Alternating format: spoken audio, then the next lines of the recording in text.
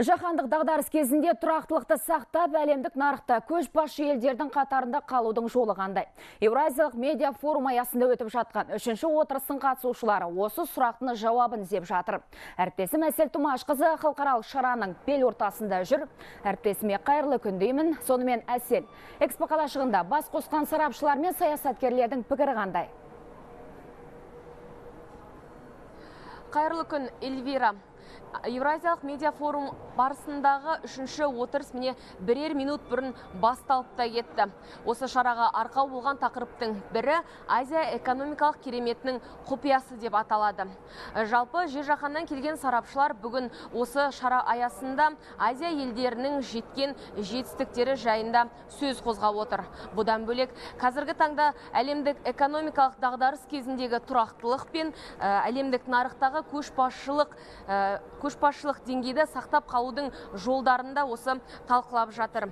Сарапшылардың пікіріне сенсек қазіргі таңда әлемдік экономикадағы тұрақсыздық жетекші елдердің экономикалық көрсеткіштеріне әсер еткенін де тілге тиек етті. Бұдан бөлек бүгінгі осы отырысқа тағы да арқау болған тақырыптың бірі азия елдерінің көз ілеспес жылдамдықпен экономикасын бірнеше жылдың ішінде аяққа нық тұрғызғанында ерекше атап өтті.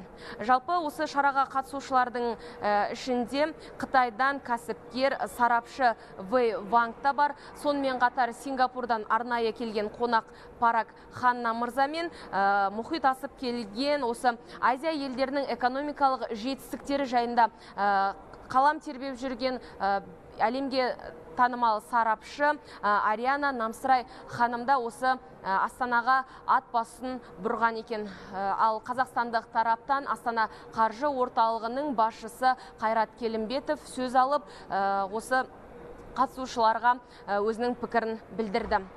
Жалпы осы отырыс барысында жапония сингапур оңтүстік корея мен қытай елдерінің осы экономикасы қалай аяққа тұрды? Ол үшін не істеу керек? Әлемдік дағдарыстан шығудың жолдары қандай? Осы жайында біздің спикерлер сөз айтып жатыр.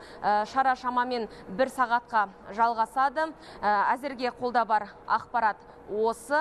Эльвира жаңалықтарымыздың келесі топтамасында толығырақ ақпарат тарататын боламыз. Бізден хабар күтіңіздер. Сөз кезегі студияда Әлбетте күтеміз елорда төрінде өтіп жатқан Евразиялық медиа форум алаңынан бізбен тікелей байланысқа әріптесім Әсел Тұмашқызы шыққан болатын.